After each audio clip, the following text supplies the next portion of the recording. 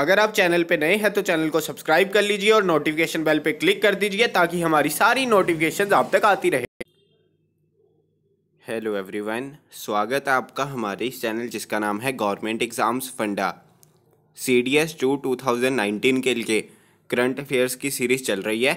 आज इसका रहेगा पार्ट ट्वेल्व अगर आपने इससे पहले के पार्ट्स नहीं देखे तो एक बार प्लेलिस्ट में जाकर सारे पार्ट्स देख लीजिए। तो चलिए, बिना देर की हम शुरू करते हैं। इसके अलावा सीडीएस का व्हाट्सएप प्रेपरेशन ग्रुप चल रहा है। अगर आपने ज्वाइन करना हो तो इस नंबर पर व्हाट्सएप करके आप सारी डिटेल्स ले सकते हैं। तो चलिए, पहले क्वेश्चन की तरफ़ चलते हैं।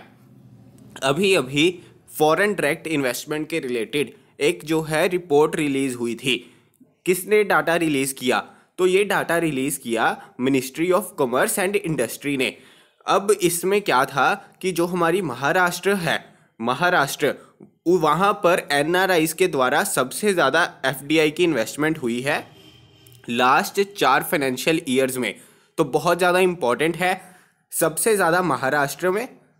महाराष्ट्र दूसरे पर है केरला और तीसरे पर है गुजरात। तो ये ऑर्डर आपने याद रखना है, महाराष्ट्र, केरल और गुजरात। और ये तीनों स्टेट्स का अगर देखा जाए तो लगभग जो एनआरआई के द्वारा एफडीआई की इन्वेस्टमेंट हुई है, पूरे इंडिया में उसका सिक्सटी परसेंट यही तीनों जो स्टेट्स हैं, उसको कंट्रीब्यूट करती हैं। तो बहुत ज़्यादा इंपॉर्टेंट है। ये डाटा किसने रिलीज़ किया है? Ministry of commerce and industry ने। तो ये बहुत ही ज़्यादा इंपॉर्टेंट रहता है। तो चलिए चलते हैं आगे। इसके अलावा जनरलाइज्ड सिस्टम ऑफ़ प्रेफरेंस काफ़ी न्यूज़ में रहा। यूएसए ने जीएसपी जो है, उस वो स्टेटस इंडिया और टर्की से छीन लिया है। टर्की से दो तीन महीने पहले ही छीन लिया था। इंडिया का रिव्यू कर रहे थे जीएसपी तो इंडिया से भी status generalize system of preference वापस ले लिया गया है। अब ये जनरलाइज्ड सिस्टम ऑफ़ प्रेफरेंस होता क्या है? एक्चुअली जो हमारी डेवलपिंग कंट्रीज़ है डेवलपिंग कंट्रीज़ उनको जो एक्सपोर्ट करना होता है, उनके एक्सपोर्ट पर कोई टैरिफ नहीं लगता या फिर बहुत कम टैरिफ लगता है। तो इसको कहते हैं जनरलाइज सिस्टम ऑफ़ प्रेफरेंस जैसे कि यूएसए के साथ हमारा जनरलाइज सिस्टम ऑफ़ प्रेफरेंस के थ्रू काफ़ी एक्सपोर्ट होता था। तो जो हम यूएसए है यूएसए है तो उन्होंने क्या किया हुआ था? इंडिया की काफ़ी जो चीज़ें हैं, उन पर कोई भी टैरिफ नहीं लगता था जब इंडिया एक्सपोर्ट करती थी यूएसए को। तो लेकिन अब उन्होंने वापस ले लिया है क्यों? इसका मेन रीज़न यही उन्होंने कहा है कि इंडिया और यूएसए के बीच ये जो एक्सपोर्ट और इंपोर्ट की डील होती है, उसमें हमेशा इंडिया को ज़्यादा फ़ायदा होता है और ट्रेड जो है वो इंडिया की तरफ़ ज़्यादा झुका हुआ है। तो इस वजह से डोनाल्ड ट्रंप ने जीएसपी से हटा दिया है इंडिया को। तो अब इंपॉर्टेंट चीज़ें आपने क्या याद रखनी है। पहली चीज़ कि ये जो डेवलपिंग कंट्रीज़ है, उनके लिए है। दूसरी चीज़ यूएसए ने टर्की और इंडिया से जीएसपी सिस्टम जो है हटा दिया है। तीसरी चीज़, लगभग इंडिया में ये एक्सटेंड कब हुआ था? इंडिया इसके under generalized system of preference के अंडर किस ईयर में आया था? तो वो आया था 1976 में। तो ये आपने याद रखना है, लगभग 2000 प्रोडक्ट जो है 2000 प्रोडक्ट जो है इंडिया एक्सपोर्ट करता था इसके अंडर जीएसपी सिस्टम के अंडर तो ये चीज़ें आपने याद में रखनी है। इसके अलावा लगभग पाँच बिलियन डॉलर पाँच बिलियन डॉलर का एक्सपोर्ट किया था पिछले साल इंडिया ने जनरलाइज सिस्टम ऑफ़ प्रेफरेंस के अंडर जो हमारे प्रोडक्ट्स आते हैं। तो ये सारी चीज़ें आपने याद रखनी है। तो चलिए चलते हैं आगे। अगली इंपॉर्टेंट न्यूज़ क्या है? मार्स क्वेक तो पहली बार जो है अर्थ क्वेक आपने सुना ही है जब भूचाल आता है हमारी पृथ्वी पे। तो मार्स क्वेक यानी कि वहाँ पे भी ट्रेम्बलिंग जो है फील की गई है मार्स के ऊपर। मार्स के ऊपर, और ये सबसे पहला इंस्टेंस है कि वहाँ पे इन ट्रैम्पलिंग्स को फील किया गया है। नासा के द्वारा किस, उन्होंने एक अपना इनसाइट इनसाइट मिशन लॉन्च किया था, जो मार्स की स्टडी करने के लिए था। तो यही जो हमारा इनसाइट मिशन में उनका प्रॉप गया था। उसी ने इन ट्रैम्बल्स को फील किया है। तो ये पहला इंस्टेंस बना है। आपको पूछा जा सकता है, ये इनसाइड मिशन किसने लॉन्च किया था? तो ये किया था नासा ने। और अभी अभी रिसेंटली किस प्लेनेट पे ट्रैम्बलिंग्स फील की गई है? ड्यू टू इंटीरियर जो उसका स्ट्रक्चर है उस प्लेनेट का तो वो है मार्स को एक मार्स पर। तो चलिए चलते हैं आगे। आगे देखते हैं। साइक्लोन फानी आया था। आपको पता है, बहुत ज़्यादा इंपॉर्टेंट है, काफ़ी डिस्ट्रक्टिव था। ये जो हमारी आईएमडी है इंडियन मिटियोरोलॉजिकल डिपार्टमेंट सबसे पहले तो इसके हेडक्वार्टर कहाँ है? इसके हेडक्वार्टर है न्यू दिल्ली में न्यू दिल्ली में। तो इन्होंने आईएमडी ने साइक्लोन फानी को जो है एक्सट्रीमली जो हमारा डेविस्टेटिंग चीज़ होती है, जो डेविस्टेटिंग साइक्लोन्स होते हैं, उसमें साइक्लोन फानी को रखा था आईएमडी ने। तो इसके अलावा चीज़ें आपने क्या याद रखनी है? पिछले लगभग 120 सालों में, अगर हम अप्रैल मंथ की बात लें, अप्रैल मंथ की बात लें तो सिर्फ़ 14 cyclones, tropical cyclones bay of Bengal के ऊपर डेवलप हुए हैं पिछले 120 सालों में, अप्रैल के मंथ में। और उन 14 साइक्लोन्स में से, ये पहला साइक्लोन था जो अप्रैल के महीने में इंडियन मेनलैंड से टकराया था। तो ये चीज़ आपने याद रखनी है, इस वजह से साइक्लोन फानी बहुत ज़्यादा इंपॉर्टेंट हो जाता है। इससे पहले जो तो दूसरी चीज़ क्या है? साइक्लोन फानी डिवेलप कहाँ हुआ? ट्रॉपिकल साइक्लोन था कहाँ? Bay of Bengal bay of Bengal तो ये भी आपने चीज़ को याद रखना है। इससे पहले एक साइक्लोन आया था नरगिस 2008 में, अप्रैल के महीने में ही। तो ये जो साइक्लोन था, इसने किसको ध्वस्त किया था? म्यांमार को। तो ये म्यांमार से हिट किया था तो काफ़ी नुकसान हुआ था। इस साइक्लोन के बारे में भी आपको पूछा जा सकता है, क्योंकि ये भी इसी की वजह से न्यूज़ में रहा। दूसरी चीज़ साइक्लोन फानी का नाम साइक्लोन फानी किसने दिया? तो ये दिया है बांग्लादेश ने। बांग्लादेश ने। दूसरी चीज़, जो नॉर्थ इंडियन ओशियन में हमारे साइक्लोन्स आते हैं, उसका नामकरण कौन कौन कर सकता है? उस कमेटी के मेंबर कौन कौन है उस पैनल के? तो वो है India, Pakistan, Bangladesh, Maldives, Myanmar, Oman, Sri Lanka और थाईलैंड। तो एक बार इनको आपने देशों को गो थ्रू कर लेना है। और साइक्लोन फानी का नाम फानी किसने रखा? तो वो रखा बांग्लादेश ने। तो चलिए चलते हैं आगे। अब आगे देख लेते हैं। बेसल कन्वेंशन और साथ में उसके अलावा अगर हम बात करें रोटरडम कन्वेंशन और स्टॉकहोम कन्वेंशन तो ये हुई है जनीवा, स्विट्ज़रलैंड में। जनीवा, स्विट्ज़रलैंड में। तो बैक टू बैक ये तीनों ही कन्वेंशन बैक टू बैक हुई हैं जनीवा, स्विट्ज़रलैंड में। तो ये तीनों कन्वेंशन थी, क्या किसके रिलेटेड है?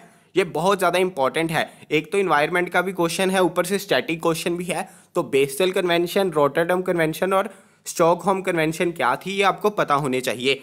तो सबसे पहले अगर हम बात करें बेसल कन्वेंशन की तो ये क्या है? किस चीज़ का देखते हैं इसमें? It covers wide range of waste defined as hazardous waste that are explosive flammable poisonous infectious corrosive toxic और इकोटॉक्सिक अब इसमें बात किस चीज़ की की जाती है? इसमें बात की जाती है जो हमारा हिजार्डस वेस्ट है। उसका डिस्पोजल कैसे करना है?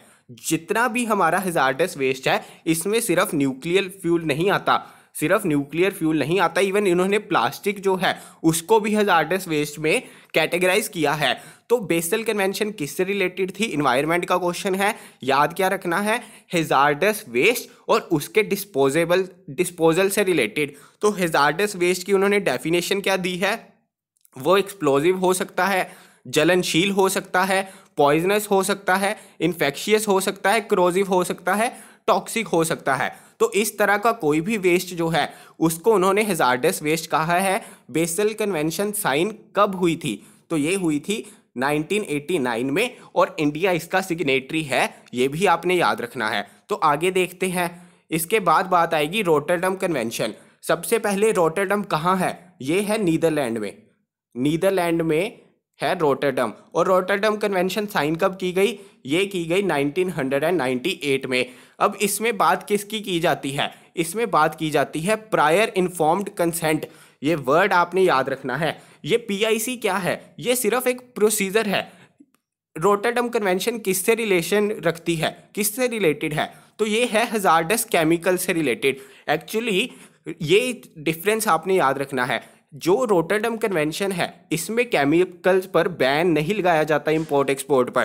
केमिकल्स पर कोई बैन नहीं लगाया जाता। लेकिन उन केमिकल्स के इंपोर्ट और एक्सपोर्ट के लिए एक जो है सिस्टम फॉलो करना पड़ता है। एक प्रोसीजर फॉलो करना पड़ता है। उस प्रोसीजर का नाम है प्रायर इन्फॉर्म्ड कंसेंट यानी कि पहले इस पैनल से आपको परमिशन लेनी होगी, जिसने भी एक्सपोर्ट करना है, फिर किस देश को इंपोर्ट कर रहे हैं, वो बताना होगा। तो एक्चुअली इस प्रोसीजर को फॉलो करते करते ये जो केमिकल्स हैं, इनके इंपोर्ट और एक्सपोर्ट पर खर्चा भी बढ़ जाता है और देरी भी हो जाती है। इसमें केमिकल्स को बैन नहीं किया जाता, ये आपने ध्यान में रखना है। अब आगे स्टॉकहोम कन्वेंशन ये साइन हुई थी 2001 में। 2001 में नीचे आपने मेरे को कमेंट बॉक्स में ये बताना है कि स्टॉकहोम कहाँ पर है।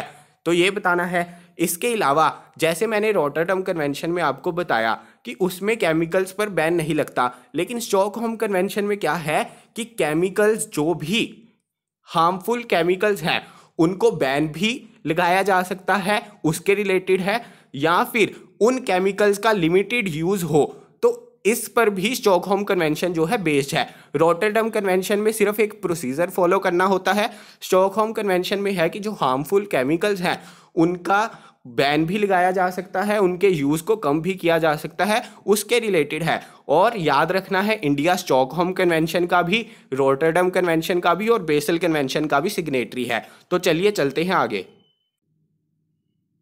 अपाचे गार्डियन अटैक हेलीकॉप्टर्स अब इसकी डील जो है, इंडिया ने यूएस के साथ साइन की थी 2015 में तो उसमें से 22 हेलीकॉप्टर जो हैं, यूएसए ने अभी इंडिया को दिए हैं। तो आपने याद रखना है कि अपाचे गार्डियन अटैक हेलीकॉप्टर्स हमने किससे लिए थे? हमने लिए थे यूएस से यूएस और बोइंग के साथ हमने क्या किया था? डील साइन की थी 2015 में तो उसकी जो है डिलीवरी हो चुकी है 22 हेलीकॉप्टर्स इंडिया को मिल चुके हैं। तो ये आपने याद रखना है। इसके अलावा अभी अभी जियोलॉजिकल सर्वे ऑफ़ इंडिया ने सर्वे किया था तो उसके अकॉर्डिंग उन्होंने बताया है कि 35 परसेंट इंडिया का टोटल ग्रेफाइट रिज़र्व जो है, वो कहाँ पे है? मिलता है अरुणाचल प्रदेश में। तो ये आपको डायरेक्टली क्वेश्चन पूछा जा सकता है कि सबसे बड़ा ग्रेफाइट रिज़र्व इंडिया में किस स्टेट में है? तो वो है अरुणाचल प्रदेश में, लगभग 35 परसेंट। और this is the highest in the country तो ये आपने याद रखना है इसके अलावा ग्रेफाइट के बारे में आपको ये पूछ सकते हैं। ये बहुत ज़्यादा इंपॉर्टेंट प्रॉपर्टी बन जाती है क्योंकि it is the only non metal element that is a good conductor of electricity हमारे जितने नॉन मेटल होते हैं, वो बैड कंडक्टर ऑफ़ इलेक्ट्रिसिटी होते हैं। लेकिन ग्रेफाइट जो है, एक लौता ऐसा नॉन मेटल है जो गुड कंडक्टर है इलेक्ट्रिसिटी का। दूसरी चीज़, इसको क्या कहते हैं? It is also known as dry lubricant for its greasy feel इसको जो ग्रेफाइट है, ये ग्रीजी फील देता है, जिसकी वजह से इसको ड्राई लुब्रिकेंट भी कहा जाता है। तो आपको अगर ये पूछा जाए कि ड्राई लुब्रिकेंट किसे कहते हैं तो वो कहते हैं ग्रेफाइट को। ग्रेफाइट रिज़र्व सबसे ज़्यादा जो पाए जाते हैं इंडिया में, वो है अरुणाचल प्रदेश लगभग 35 परसेंट। और ये ऑफिशियल डाटा है, इस वजह से बहुत ज़्यादा इंपॉर्टेंट है, क्योंकि जियोलॉजिकल सर्वे ऑफ़ इंडिया ने डाटा दिया है। तो ये थे आज के हमारे इंपॉर्टेंट करंट अफेयर्स अगर आपको वीडियोज़ अच्छी लग रही है तो प्लीज़ ज़्यादा से ज़्यादा लाइक कीजिए और शेयर कीजिए। Thank you so much. जल्दी मिलेंगे अपनी अगली वीडियो के साथ।